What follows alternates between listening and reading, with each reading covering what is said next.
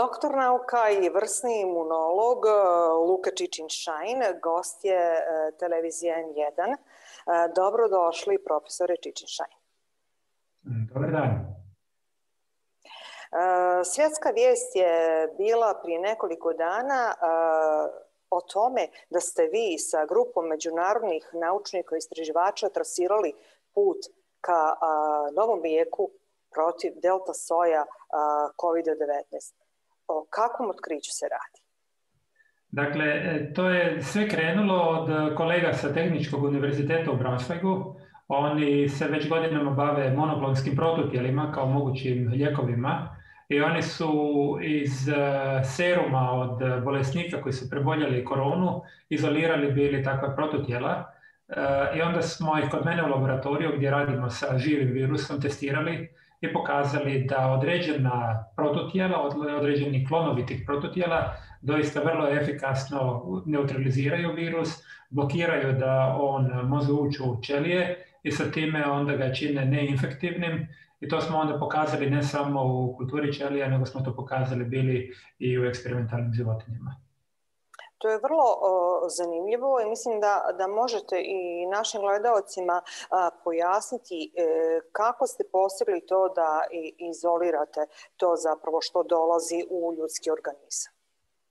Pa to je jedna tehnologija koju su razvijali tu na univerzitetu. Oni su u stanju klonirati ogromnu količinu mogućih protutijela. Kad naše tijelo reagira na jednu infekciju, stvaraju se protutijela, svako od njih je malo drugčije i, i nama trebaju ona koja mogu kontrolirati, koja mogu prepoznati virus.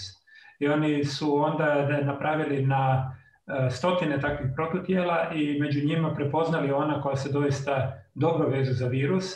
A onda kod mene u laboratoriju smo testirali njih nekoliko tuceta da vidimo koja od njih su najefikasnija u tome da blokiraju da se virus širi. I onda ono koje nam je bilo najefikasnije smo testirali da u organizmu čini da životinje nisu bolesne kada ih se inficira. I onda smo sad krenuli dalje sa kliničkim istraživanjem istog prototijela. E, koliko je uz trenutnu zaštitu, e, uz vakcinaciju potrebna e, nova terapija lijekovima? Nama treba jedno i drugo. Mi moramo shvatiti da lijek ne može biti zamjena za vakcinu. Kao prvo postoje siromašne zemlje u Aziji, u Africi gdje ogroman broj ljudi se ne može priuštiti lijek, ali vakcina koja je jeftinija može pomoći da se široki slojevi takvih ljudi ipak zaštite i da onda se epidemija i u takvim sredinama zaustavi. E, ali sa druge strane, vakcina sama po sebi isto tako neće zaustaviti širenje infekcije baš kod svakog čovjeka. Nekih 90-95% e, ljudi su zaštićeni, ali ostane nam tih 5 do 10 koji nisu. I onda kod njih se i može doći e, ne samo do razvitka bolesti, nego u nekim slučajevima ta bolest može biti i vrlo teška takvim ljudima moramo biti u stanju nešto ponuditi da ih se izliječi ako ne da Bože se ipak zaraze i teško razbole. Jesu zapravo ovi lijek, odnosno konkretno vaš lijek, ciljano na tu populaciju od 5%? Pa, ja mislim da mi ne ciljamo samo na tu populaciju, mislim da ćemo ciljati na svakoga kome je to potrebno i treba naravno tu još se malo strpiti jer sada idu klinička istraživanja u kontroliranim uslovima na dobrovoljcima koji će biti podvrgnuti tome i gdje ćemo onda pratiti da li taj lijek doista njima pomaže, da vidimo da ono što smo vidjeli na eksperimentalnim životinjama pomaže stvarno i ljudima, jer tek onda kada prođemo kroz ta klinička istraživanja, tek onda ćemo dobiti odobrenje od Europske agencije za lijekove da je naš e, lijek nešto što se doista i može pustiti u opticaj. Sve te stvari se rade vrlo oprezno i nipošto ne želimo dati ljudima nešto što bi moglo nashoditi. Koliko to sad dalji koraci mogu trajati dugo? Pa evo sada smo u fazi 1 kliničkih istraživanja E, ukoliko je ona uspješna, radi se na zdravim dobrovoljcima, onda se kreće u fazu 2 koja je na jednom manjem broju e, ljudi koji su bolesni, a nakon toga možemo krenuti u fazu 3 koja se radi na većem broju gdje se onda dobijaju čvrsti statistički podaci iz kojih je onda jasno u kojoj mjeri je taj lijek efikasan i da li onda je to nešto što se može preporučiti da doista pomaže ljudima. Koliko to otprilike može trajati? Pa to, nam će, to, to bi nam moglo trajati e, u idealnim uslovima još jedno šest mjeseci. Uh-huh. Kako stvari stoje, ali vidjet ćemo koliko su uslovi idealni, tu se trebaju i puno stvari poklopiti. E, zašto postoje izjave stručnjaka da je učinjak dosadašnje oralne terapije e, poput remdesivira ograničen? Zašto je to tako?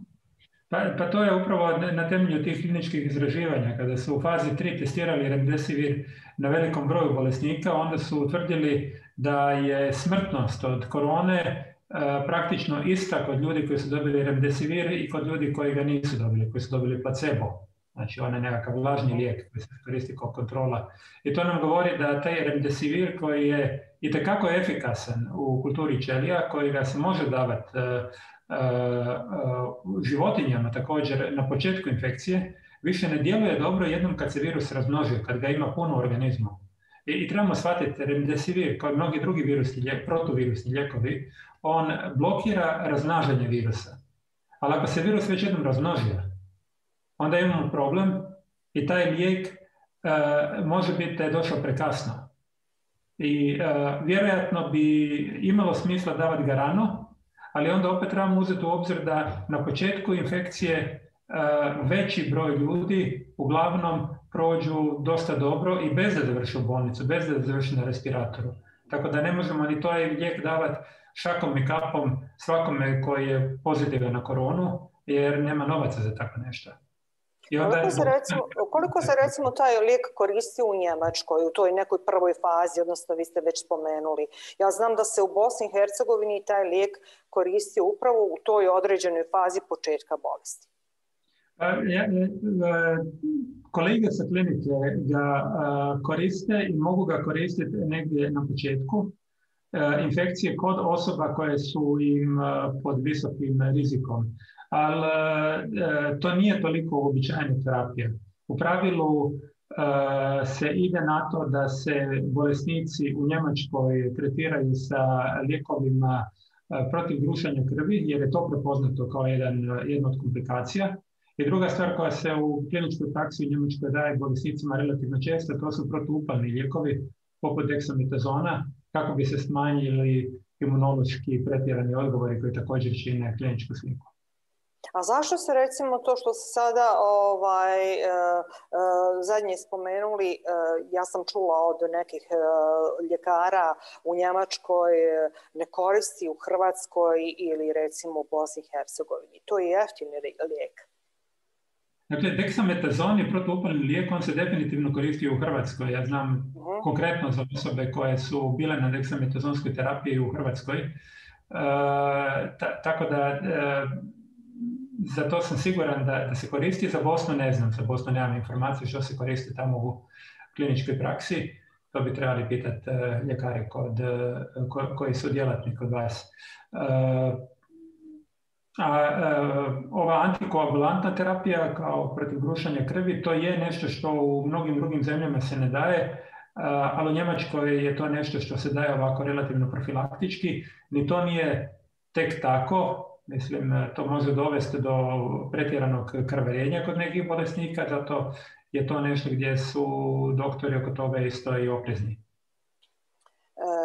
E, je učinkovitost? Znam da se ne može govoriti o učinkovitosti lijekova koja nisu testirana još, ali e, na koju ciljanu, eventualno, ako možete reći, učinkovitost, učinkovitost vašeg lijeka e, možemo očekivati?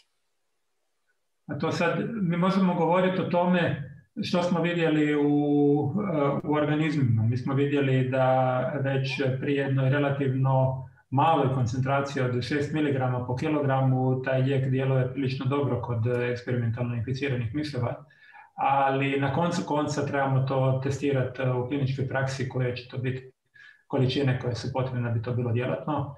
E, I druga stvar koju trebamo vidjeti, koju još e, trebamo istražiti, to je da li taj lijek doista se može davati osobama koje su teško bolesne ili je potrebno ga primjenjivati rano po infekciji kako bi se spriječilo da se proširi. I to su stvari koje ćemo tek u kliničkim istraživanjima moći doznati. Kazali ste na početku relativno brzo djeluje. E, koliko je to brzo? Pa to djeluje praktično odmah jer on blokira da se virus e, veže za površinu stanice.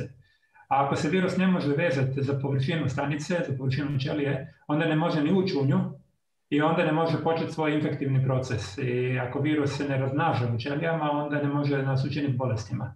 Tako da on djeluje doista na samom početku, ispričava i prekida taj lanac širanja virusa kroz organizam, što je jedan dosta efikasan način da mu onda stavimo na kraj. E sad ja opet pitam možda uh, pitanje koje je za vas uh, banalno, ali koje sigurno uh, zanima naše gledalce. Da li možemo očekivati eventualno takvu brzinu i u testiranju kod ljudi, kod dobrovoljaca? Pa, mi, mi sigurno se nadamo tome, ali to je princip znanstvenog istraživanja i znanstvenog razmišljenja da ne brzamo sa zaključcima, da ne, da ne prejudiciramo šta je konkluzija tog našeg istraživanja, nego da smo otvorenog uma i da smo spremni za sve moguće rezultate Eh, jer eh, sve drugo nije znanstvena metoda, sve drugo je čaranje i pretjerivanje i nije u skladu sa time što nam rezultati doista govore. Dakle, moramo se osvrpiti da vidimo rezultate. Samo recite. u svakom slučaju spomenuli ste vakcinaciju i lijekove. hoće li vakcinacija u budućnosti biti jedina zaštita ili ćemo morati upotrebljavati e, i lijekove koji su u fazama sada tek testiranja. Ja, ja mislim da u budućnosti ćemo definitivno imati neke lijekove, da li će to biti naš ili će to biti neki e, lijek kojega razvijaju neki od kolega, to ćemo vidjeti. Ali e, u svakom slučaju ima toliko lijekova koji su u istraživanjima, u naprednim kliničkim istraživanjima, da ja vjerujem da će nešto od toga upaliti, da ćemo negdje do konca ove godine ili početkom iduće već imati na tržište neke prve lijekove koji će moći funkcionirati. Ali to ne znači da samo na njih e, trebamo i možemo osloniti. E, nama je potrebno pucati svog oružja protiv ovog virusa, trebaju nam i vakcine i lijekovi i onda još k tome nekakve mjere ponašanja koje su razumne gdje izbjegavamo kontakte kako bismo stali na kraju ove pandemije. Da li će vakcinacija kao, kao e, način zaštite trenutno jedini ostati i narednih par godina ako e, pandemija se bude, ajmo reći, kao, kao vakcinacija protiv gripa? dakle, ovaj virus nije sličan virusu gripe u smislu da puno sporije mutira. Tako da e, ja ne vidim potrebe da mi sezonski svake godine jednu novu vakcinu bacamo na tržište kako bismo nešto novo napravili. Taj e, virus će se razvijati, on će se mijenjati, on će imati neke nove svoje sojeve i mutacije, ali vakcine koje sad imamo na raspolaganju u dobroj mjeri već štite čak i protiv najnovijih sojeva, protiv alfe ili protiv delte koji su bili učestali u prvoj polovici ove godine ili koji sad uzimaju maha. Tako da e, vakcine djeluju vrlo dobro i efikasno i e, ja koristim ovu priliku da pozovem sve gledatelje da ako još se nisu cijepili da to naprave jer im je rizik od vakcine daleko, daleko manji od rizika kojega, kojem se izlažu ako se slučajno zaraze i onda se razbole od toga. E, vezano za ovu vašu rečenicu, Evo imamo i u regiji, vjerovatno pratite i u Europi delta soj se sve više i više širi, ali sve va, više skepse protiv vakcinacije. Koliko je jača ta skepsa, odnosno nepovjerenje u odnosu na korist od vakcinacije? Dakle, dakle, ja mislim da je skepsa neopravdana, da ne postoji nikakvih znanstvenih razloga na kojima bi se ta skepsa temeljila. To su uglavnom nekakva naklapanja i rekla kazala priče gdje se uzimaju nekakve informacije van konteksta i plasiraju i šire kako bi se e, ljude iz meni u stvari ne baš sasvim jasnih razloga preplašilo i udaljilo od cjepiva. E, vakcine su itekako efikasne, nuspojave koje postoje su razumne i takve da se njima možemo izaći na kraj u velikoj većini slučajeva. One ozbiljnije nuspojave su izuzetno rijetke. Mi pričamo o E, trombozi sinusnih vena, što može biti ozbiljna nuspojava, to je jedan na sto tisuća vakciniranih ljudi. Kad pričamo o anafilaktičkim reakcijama, to je jedno dva do pet slučaja na milion. E, to, to su izuzetno rijetke stvari. A kad pričamo o infekciji, negdje jedan na stotinu inficiranih umire. Mislim, to, to je ogroman nesrazmjer, tako da strah od vakcine je prenapuhan a strah od e, mogućih rizika od infekcije nekako onda pada u drugi plan, e, što bi trebalo razumno i racionalno e, shvatiti da mi imamo mogućnost prevenirati ovu infekciju i bolest i trebamo to i koristiti. Postoji li konkretno način da se demokratski, tako reći, ljudi usmjere ka vakcinaciji kao sada jedinu vrstu zaštite. Vidjeli ste što se dešava u Francuskoj. Mhm. Ne možete malte ne ući bez COVID pasoša ni u kafanu, niti u mhm. tržni centar. Je li to nedemokratski? Pa to, da, e, mislim da to nije nužno pitanje za mene kao virološkog imunologa, nego je to više ovako jedno ljudsko pitanje. Uh Eh, ali kad me pitate, evo ono, koliko ja to vidim, to je da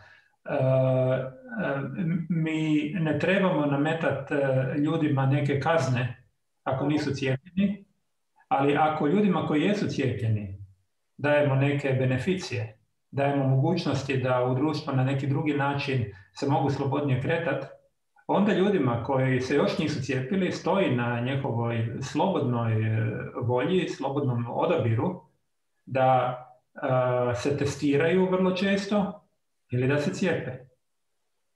To, to onda nije nedemokratski, nego je to slobodan izbor ljudi da na kraju odluče na koji način će osigurati da ljudi oko njih budu sigurni, da oni neće biti kliconoše i da neće izlagati druge ljude oko sebe nekom riziku, što na kraju je nešto što je u skladu sa jednom liberalnom demokracijom, jednom društvu kome mi, mi svi skupa težimo. Koliko znam, američka, njemačka kancelarka Angela Merkel, upravo nije išla na, na takve ovaj, rigorozne mjere. Ona je evo, parafrazirat ću, rekla da još treba sačekati kakva je situacija u Njemačkoj trenutno. Pa evo, situacija u Njemačkoj je doista takva da osobe koje su dva puta cijepljene i kad je prošlo dva tjedna, da su onda izuzete od, e, od obaveze testiranja da bi ušle u neke od prostorija gdje postoji obaveza da se pokaže antigenski test. Ja e, večeras e, idem sa suprugom na jedno mjesto gdje da bi ušli unutra moramo pokazati jedno ili drugo dva tjedna od moje vakcinacije će biti preksutra, ja moram napraviti antigenski test da bi ušao unutra, moja supruga je cijepljena prije mene i ona će ući unutra izravno bez da napraviti taj antigenski test. I e, ja mislim da je to u redu. Ja mislim da je to u redu jer na taj način osiguravam da ljudi u toj sredini gdje mi idemo e, neće biti pod rizikom od osoba koje još nisu osigurale sigurnost sa cijepljenjem. E, tako da ne vidim tu problema i na koji način je to u neskladu sa e, demokratskim e, težnjama i definitivno je to nešto što je u Njemačkoj se sada prakticira. Koliko procenata je trenutno vakcinisano sa dvije doze u Njemačkoj, kada govorimo o Njemačkoj, evo konkretno gdje vi živite? Tu su sad već dvije doze je prešlo preko 50%, ili se približavamo tome. ali također je primjetan jedan trend usporavanja cijepljenja. Tako da, kao i u drugim zemljama, vidimo da postoji jedna skepsa prema cijepljenju. Stoga ja i koristim ove prilike kada me zovete u medije da ljudima rastumačim da, da je svakako, to... svakako, to je vrlo važno. Da, to, to je nešto što ka, kao stručnjak ja, sam, ja, ja nisam dvojio da se cijepim e, i e, članovima svoje obitelji, svojim prijateljima to toplo preporučam. Također to toplo preporučam i drugim ljudima.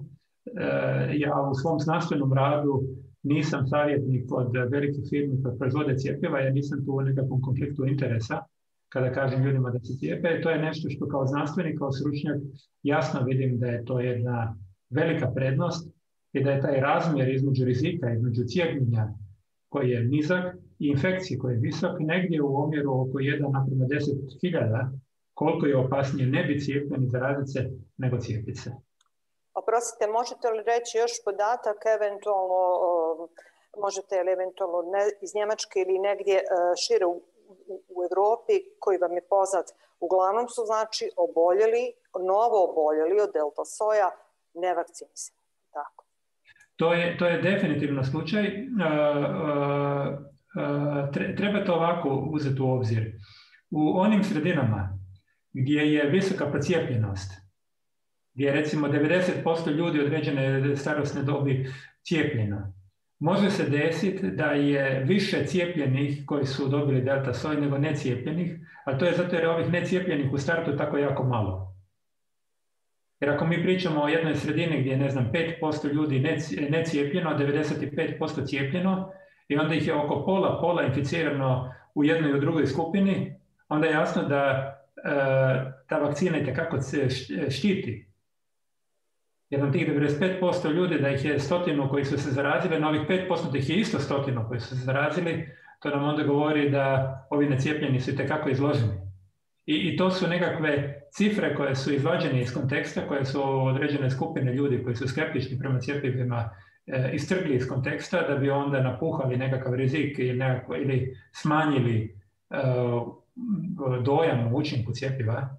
Ali je sasvim jasno da ko je cijepljen ima jednu zaštitu koja je ovisno o cjepivu, ovisno o dobnoj skupini, ovisno o nekim drugim detaljima, ali negdje između 80 i 95% efikasno, tako da je u toj mjeri i manji rizik od infekcije i od teških oblika bolesti.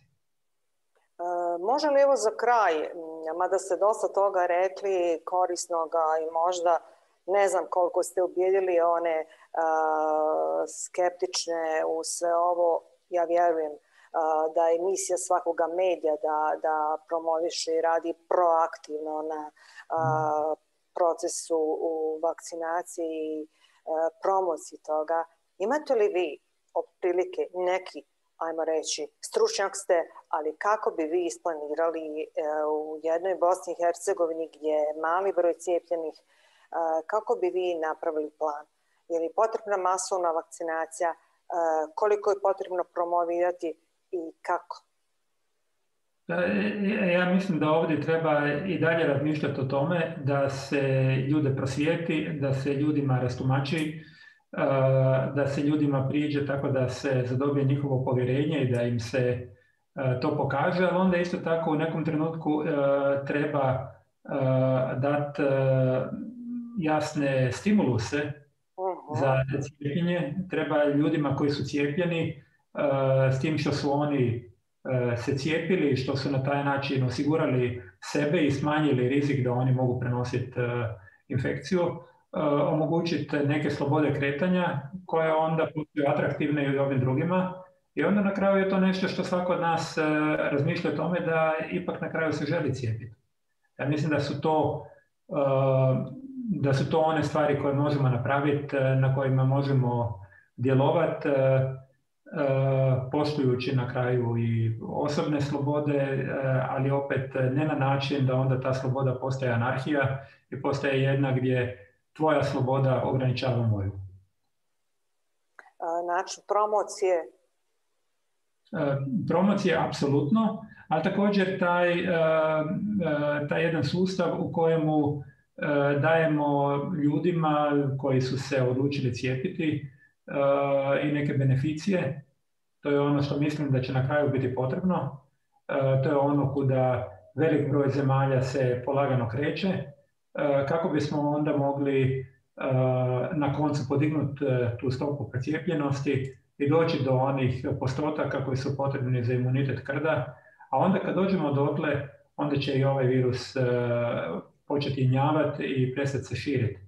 A ako to ne napravimo, nama se doista može desiti da se još sa ovim godinama i dalje mučimo i gnjavimo i svake zimske sezone nam se to vraća i nikako da izađemo iz, iz ovih problema. Stoga mislim da je potrebno razmišljati o tome da e, okončamo tu pandemiju, da podignemo broj procijepljenosti i da dovoljan broj ljudi shvati da je to i u njihovom osobnom interesu. Profesor Čičin Šajn, zaista vam se zahvaljujem na ovom razgovoru za njene. Bilo mi jako drago.